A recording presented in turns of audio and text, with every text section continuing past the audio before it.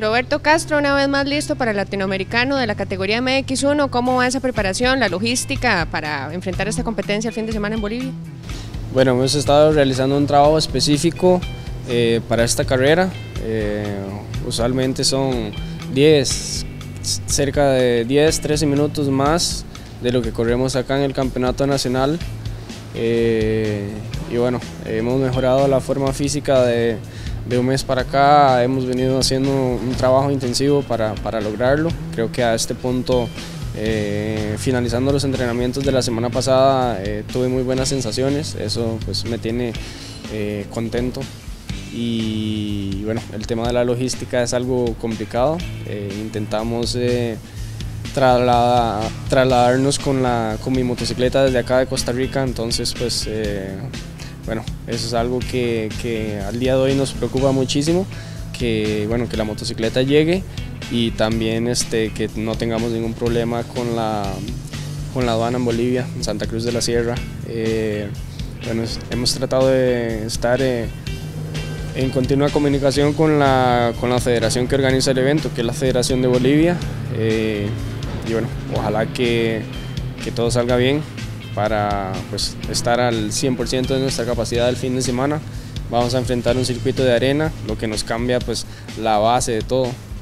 Eh, y ojalá que bueno, eh, tengamos el resultado que, esperamos.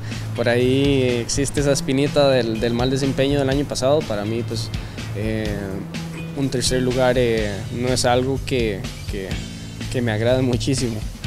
Y bueno, esperamos que, lograr un mejor resultado que, el año pasado y vamos a ver qué nos depara el fin de semana. Y expectativas también en el sentido de una pista nueva, con una superficie diferente, ¿cómo, cómo ves esta preparación o cómo te has preparado?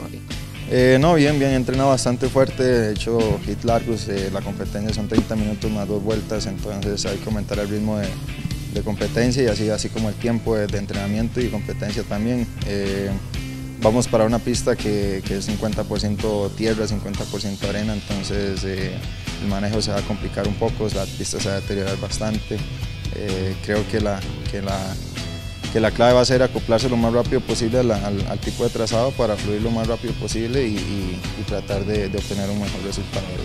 Bueno, lo que queremos es renovar el título y entonces vamos con los mejores pilotos que tenemos. Creo que estos son los dos mejores pilotos en este momento, tienen el mejor nivel y queremos ir a ganar. Nosotros tenemos la hegemonía en América Latina, así que queremos seguir manteniéndolo.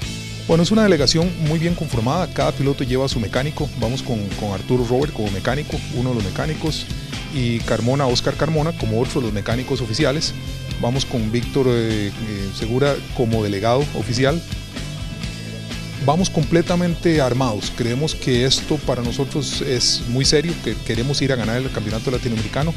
La competencia es muy fuerte. Bolivia, en Bolivia van a estar los mejores de América Latina, van a estar representados todos, todos. Ya vimos las inscripciones. Hoy en la mañana se pasaron oficialmente después de que inscribimos a David Chacón. Ya las pasaron completas y la, la competencia no va a estar fácil. Así que vamos muy bien, muy bien armados.